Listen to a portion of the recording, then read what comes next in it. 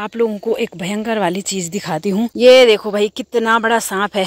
आज फिर से सांप के दर्शन हो गए हैं। मैं पहाड़ों को रे बसी तो दिल्ली रोण वाली। आप सभी को मेरा प्यार भरा नमस्ते। आप सभी का स्वागत है मेरे यूट्यूब चैनल पे और इन खूबसूरत से पहाड़ों में। अभी सुबह के सात बजे का टाइम हो रहा है और मेरी भी एक नई वीडियो की शुरुआत हो गई है। अभी मैं जा रही हूँ गौशाला। बाकी भाई, आज के मौसम की बात करें तो मौसम कुछ इस तरह का है। बादल लगे हुए हैं और नीचे में देखो भाई, धुआँ भी आ रहा है।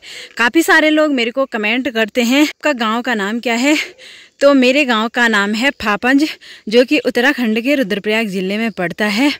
और ये रहा मेरे खूबसूरत गाँव का नज़ारा, जहाँ पे अभी सुबह सुबह का टाइम है। थोड़ी देर में धूप लगती ही है। फ़िलहाल तो आज तो बादल लगे हुए हैं, पर मुझे नहीं लगता है कि बारिश आएगी। इधर सामने, इधर साइड देखिए काले काले बादल लगे हुए हैं। काश की बारिश आती तो और भी ज़्यादा अच्छा होता, क्योंकि ना, खेतों में सारी लगाने के लिए हो गया है धान। तो सारी लगाने का मतलब होता है कि जो ये खाली जगह है ना जहाँ पे ये घना अनाज होगा, वहाँ से उसे निकाल के खाली खाली जगह पे लगाना होता है तो वो सिर्फ़ बारिश में ही हो सकता है।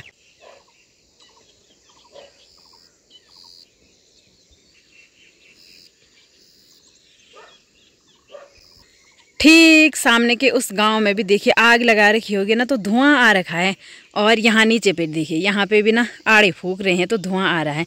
इस धुएँ की वजह से ही चारों तरफ़ का जो माहौल है, एकदम से धुंधला सा हुआ रहता है। बाकी देखते ही देखते गाँव में धूप भी निकल चुकी है। लेकिन आज धूप जो है, एकदम लाल सी हो रखी है।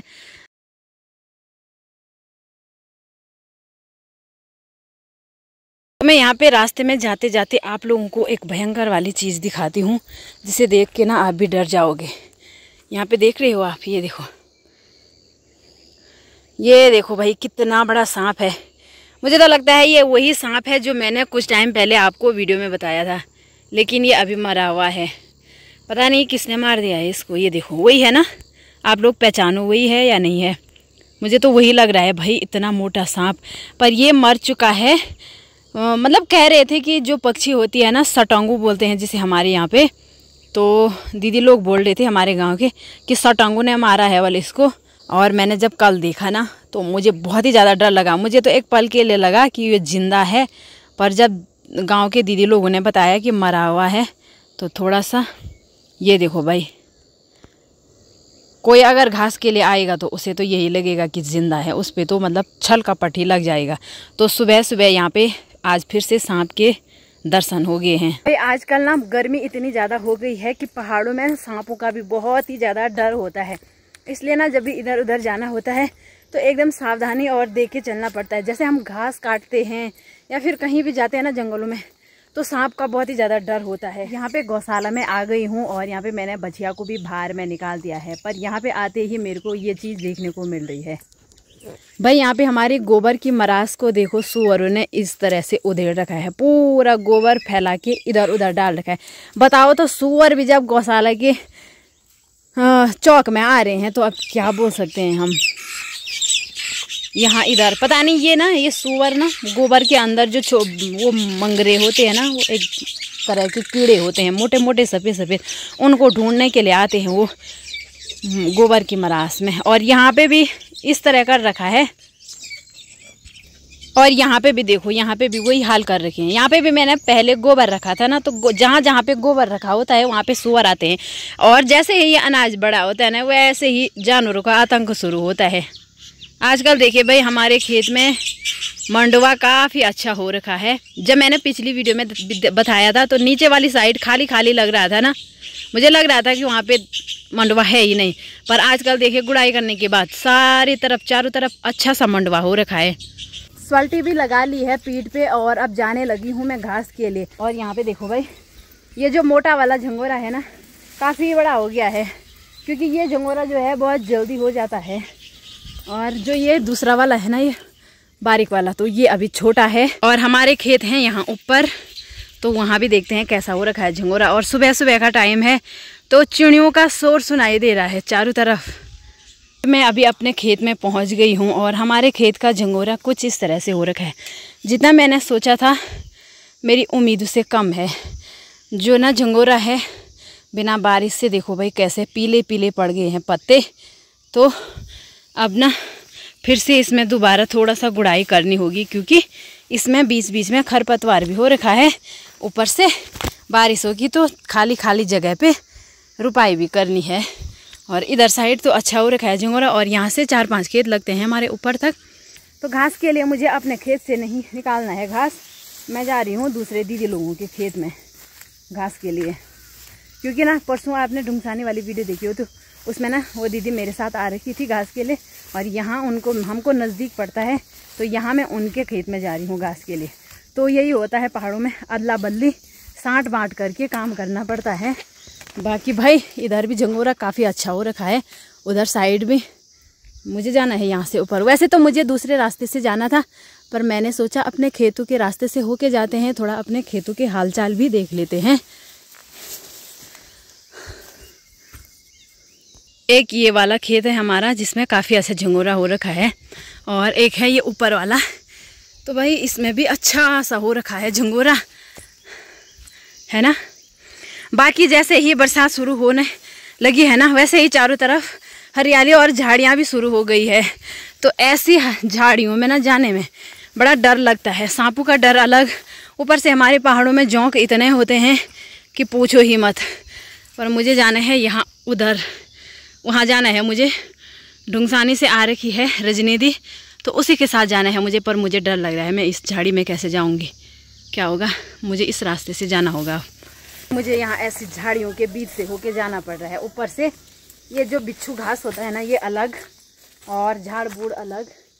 डर इतना लग रहा है यहाँ जाने में। यहाँ पे देखो, लो, छोटे बच्चे, बड़े पिकनिक मनाने के लिए आते हैं ना यहाँ पे। तो चूल्हा लगा रखा है। ये देखो साथ में यहाँ पे माचिस भी रखी हुई है। तिल्ली है इसमें। हाँ इसमें तिल्ली भी देखो भाई। इतनी सारी तिलियाँ हैं। गिर गई। ये देखो। भाई रजनी दीदी आने के बाद घास भी निकाल दिया रजनी दीदी ने। राधे राधे। सुप्रभात कथा हुए घास?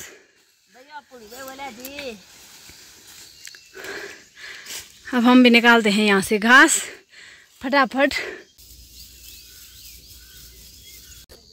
तो भाई यहाँ पे मैंने घास निकाल दिया है और अब जाना पड़ रहा है मुझे ऐसे रास्ते से, जो कि बहुत ही ज़्यादा खतरनाक है, क्योंकि यहाँ पे ना पिछली बार रोड की कटिंग हुई थी तो उस वजह से सारे पत्थर और मिट्टी ना नीचे आ रखे हैं और जैसे ही इनमें पैर रख रहे हैं ना, वो नीचे फिसल रहे हैं।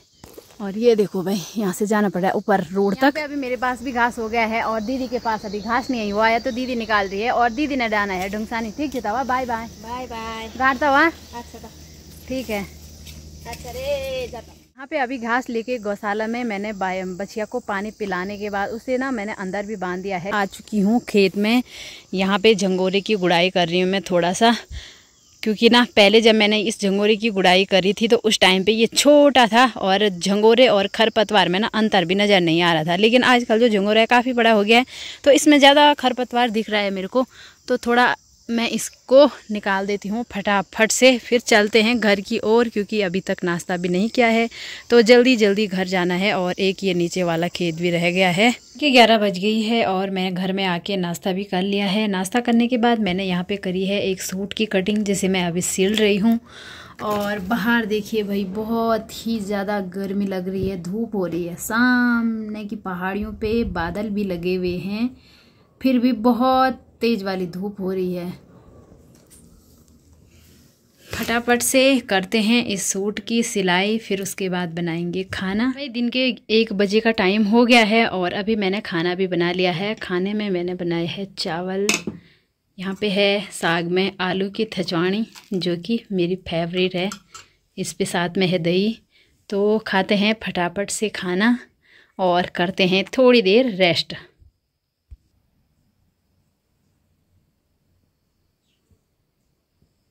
तो भाई अभी हो चुका है शाम के सात बजे का टाइम और अभी हम बैठ के हैं हरतोले अपनी गौशाला में। ठंडी ठंडी हवा का आनंद ले रहे हैं साथ में दीदी और दीदी जी। तो दीदी जी रहती हैं दिल्ली में। बहुत ज़्यादा गर्मी होती है दिल्ली में दीदी हाँ तो दीदी के लिए एक गाना हो जाए। मैं पहाड़ों को रे बसी तू दिल्ली रोण वाली। मैं धरक पाने वालू तू बिसलेरी वाली और ये दोनों मेरी नाती ने इसने ना मेरे को नानी बोलना है और इसने मेरे को दादी बोलना है। लग भी रहा है कि मैं कितनी वो हूँ नहीं बड़ी हूँ। क्या कर सकते हैं? अब रिश्ता है तो रिश्ता है है ना?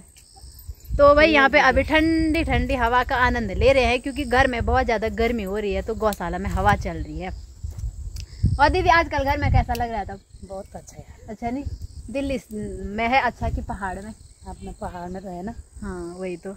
अभी अभी हमने यहाँ पे खूब सारे रील बनाए हैं दीदी लोगों के साथ सभी लोगों के साथ तो ज़रूर इंस्टाग्राम पे देखना इनका डांस तो भाई आज की इस वीडियो को भी इतना ही रखते हैं। उम्मीद है आपको वीडियो पसंद आई होगी। पसंद आई है तो इसे लाइक कीजिए कमेंट कीजिए और अपने दोस्तों के साथ शेयर कीजिए। मैं मिलती हूँ आपसे अगली वीडियो में। बाय बाय बाय भाई आज देखो भाई गौशाला से इतने सारे सभी लोग जा रहे हैं साथ साथ में घर तो इतने सारे हैं हरतोली से घर जाने वाले।